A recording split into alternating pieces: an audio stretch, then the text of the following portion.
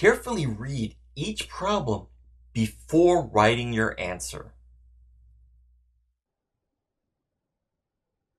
At the county fair, a small drink costs 75 cents. Lisa and her three friends each buy a small drink. They pay with a $5 bill. How much change should they receive?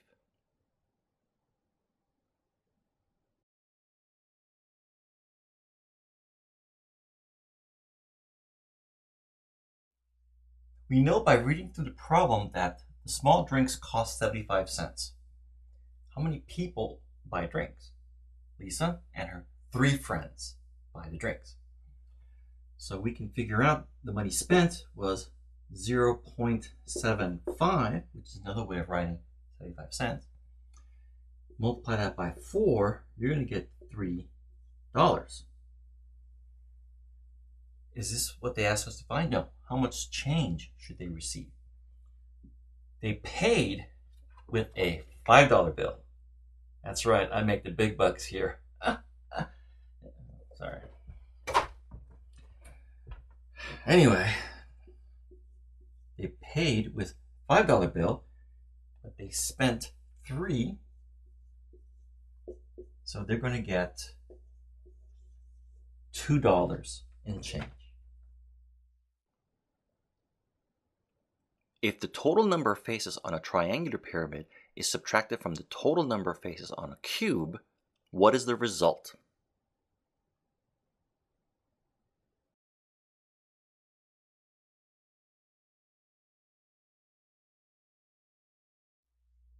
To get the result, it's a good idea to visualize what they're asking you to find.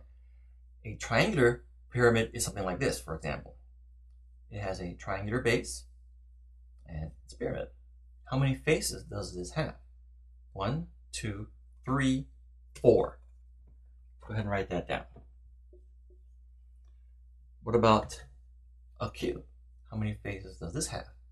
Well, it's going to be one, two, three, four, five, six. And what do they want? They want you to subtract this value from this value. And with subtraction, order counts. So it's this from this means we write the 6 first minus the 4. Result is 2.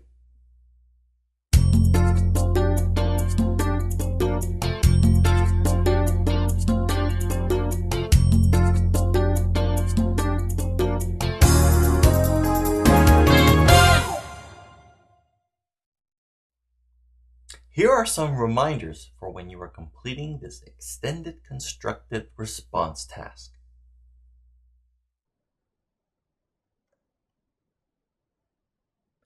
Carefully read each part of the task before writing your response. Be sure to complete all parts of the task. Clearly explain your answer and show all your work.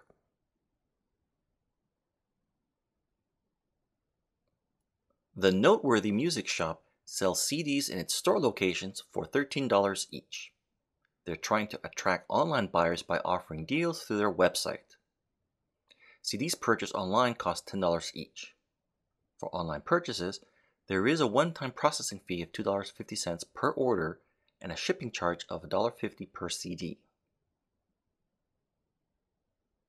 Use the above information to complete the following. The cost to buy NCDs in the store could be found using C equals $13 times N. Write an equation that could be used to find the cost of NCDs purchased online. If a customer wanted to buy 8 CDs, which method would be a better choice? Explain your answer using information from the problem.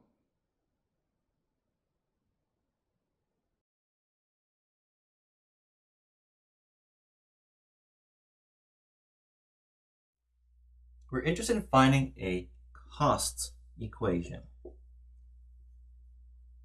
What do we know?